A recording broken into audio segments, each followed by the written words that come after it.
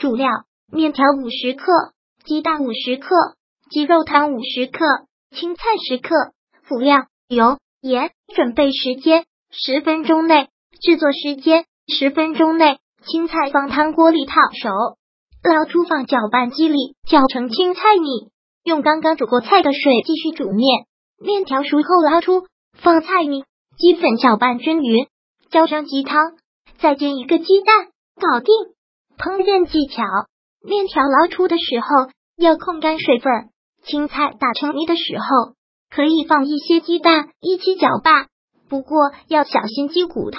也可以换成其他汤类。如果喜欢本视频，请分享并订阅本频道，别忘了按赞哦。